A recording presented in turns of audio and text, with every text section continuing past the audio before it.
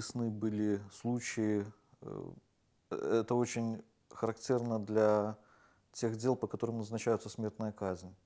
Был такой уже расстрелянный Михаленя, Алексей, по-моему, или Александр, Михаленя. Он э, освободился из мест лишения свободы, отбывая там наказание в виде лишения свободы вот за, за убийство именно. И он там пробыл очень долгое время, и он освободился, и не прошло там пары месяцев, он опять совершил убийство. Причем, когда э, изучали его э, данные о личности, то в колонии он характеризовался очень даже неплохо. То есть там он жить умел, а вот э, жить на свободе его никто не научил. И когда он освободился, вот он опять совершил преступление. Можно было предотвратить это преступление? Ну, я считаю, что да.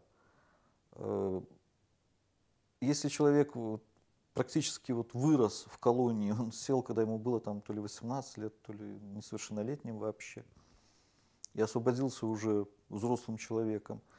Если бы его научили жить э, на, свободе и жить правильно, то, ну, очевидно, не произошло бы всего этого. А так он вернулся в ту же самую среду э, людей, там, несколько социально дезадаптированных, и как-то вот э, попытался жить так, как ему считалось возможным. С нарушениями каких своих прав к вам обращались заключенные? Ну вот у нас был один заключенный, который, он такой достаточно активный парень, э, он получил инвалидность в период нахождения в местах лишения свободы.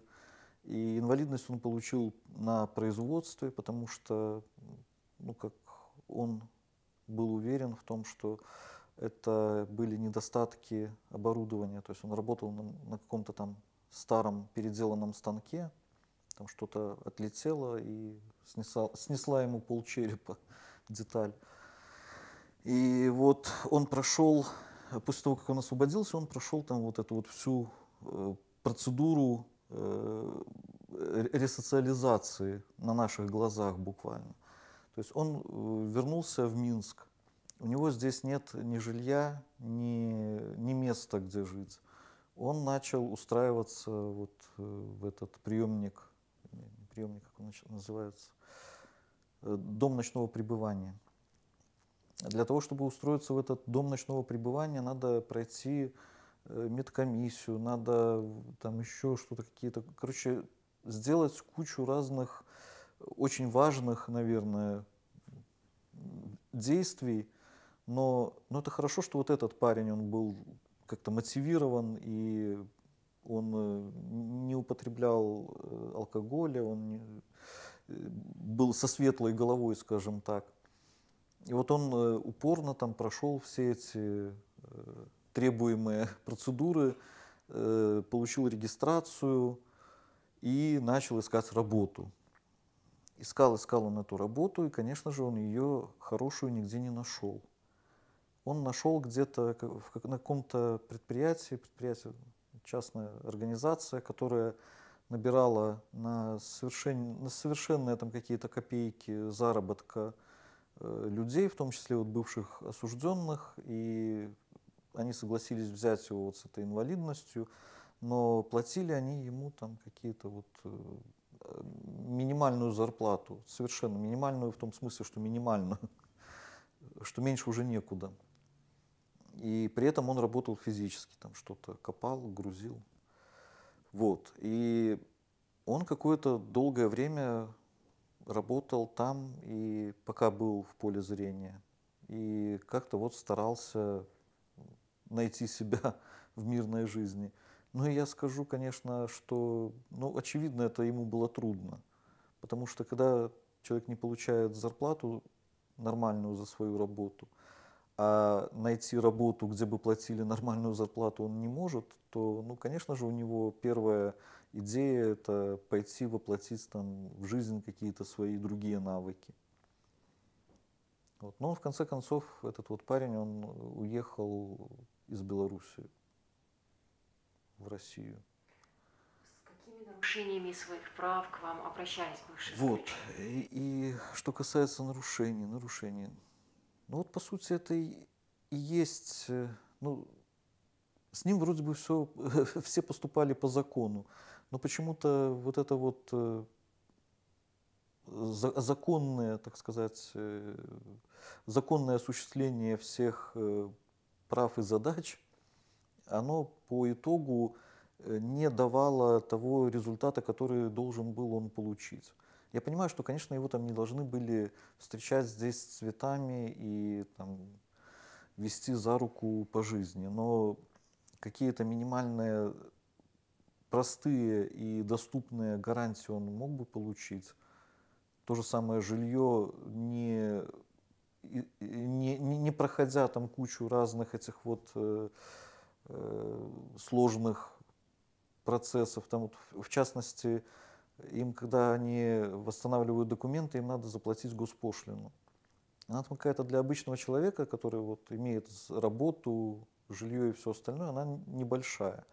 Но для вот этих вот людей, которых ос- освободили из э, колонии и дали там, остаток денег, э, несколько рублей буквально, и билет для проезда, то для них эта сумма неподъемная. И они иногда и остаются на улице и без документов только потому, что не смогли вот эти вот первоначальные какие-то расходы понести. Э, во- Вот возвращаясь к тому же человеку, о котором я говорил, э, поскольку у него была регистрация временная, то оказывается у центра занятости нет обязанности его трудоустроить.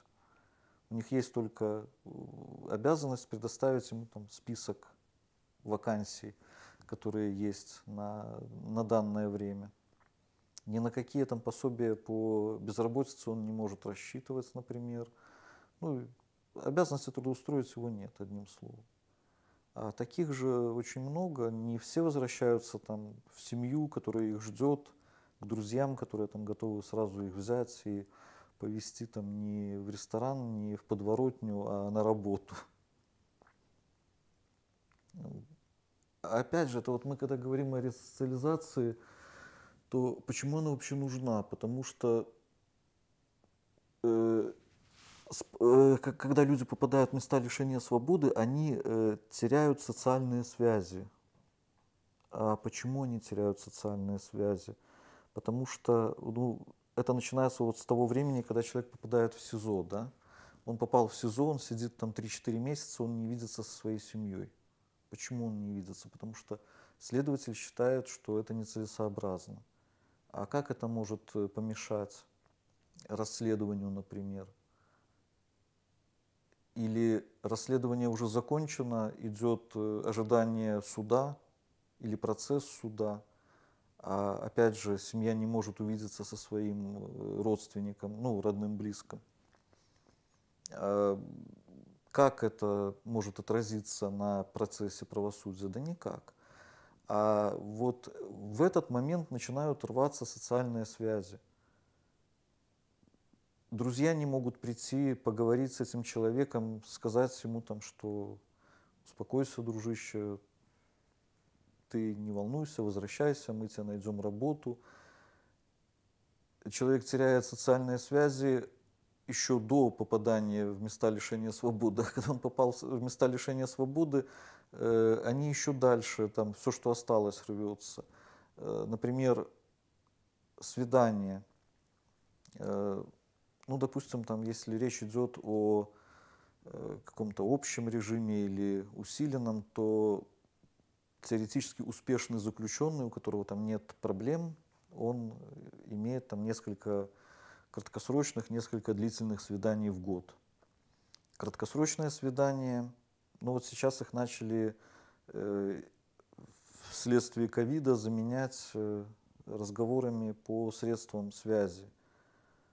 Раньше этого не было. То есть для того, чтобы поговорить там час-другой с человеком, его семья должна была собираться, ехать там через за 300 километров, а то и больше, э, проходить там все эти прелести общения с администрацией и вот через стекло там поговорить со своим э, близким, родным. Сейчас, кстати, и этого нет, потому что карантин. Но есть, э, так сказать, вот такие квази-свидания по э, видеоконференции, там, скайп или еще что-то. Э, длительное свидание только у супругов, ну или с, можно еще привести детей. Это один, два, там, три раза в год. Это как-то поддерживает социальные связи? Да никак. А если это не супруги, если это просто там люди, которые жили вместе, я уже вообще молчу про ЛГБТ.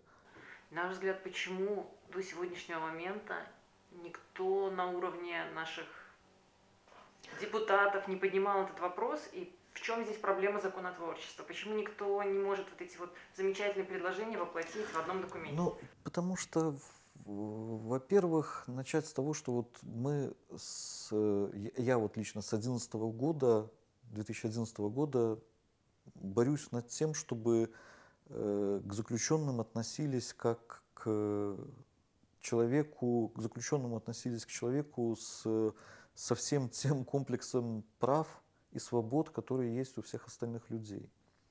То есть он заключенный и освобожденный заключенный, он такой же человек, как все остальные.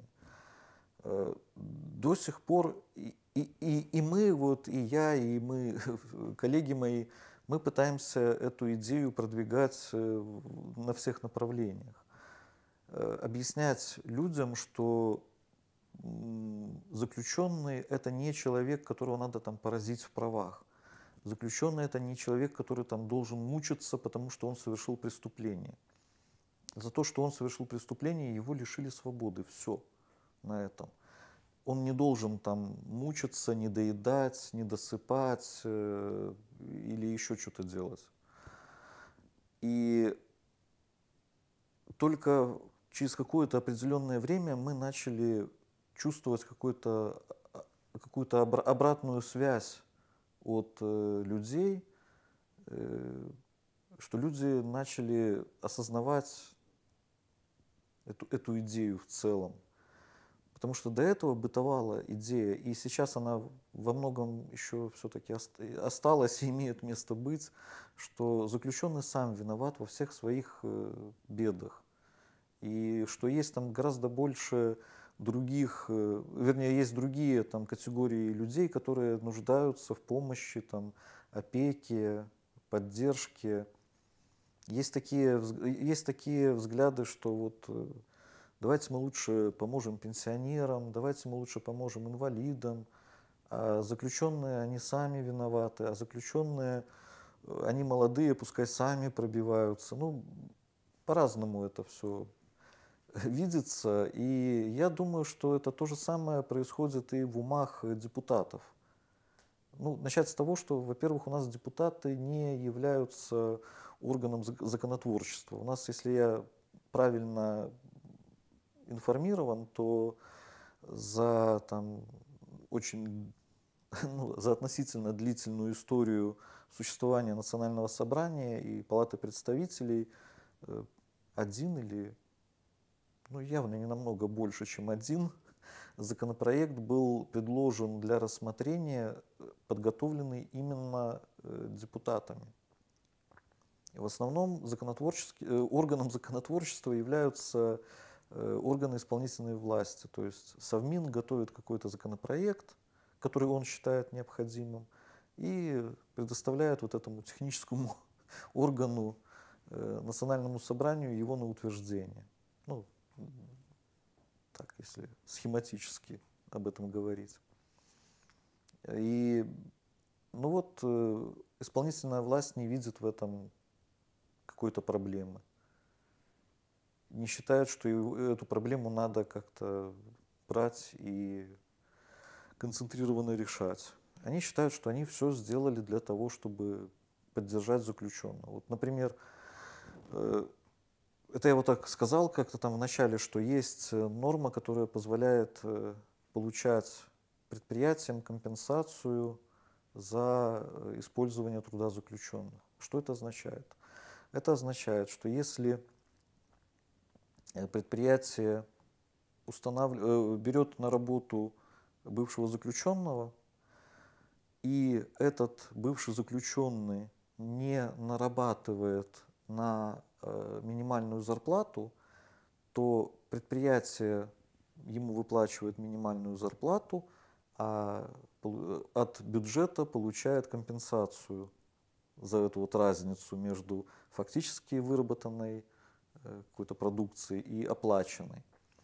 То есть о чем это идет речь? Это речь идет о копейках, по большому счету.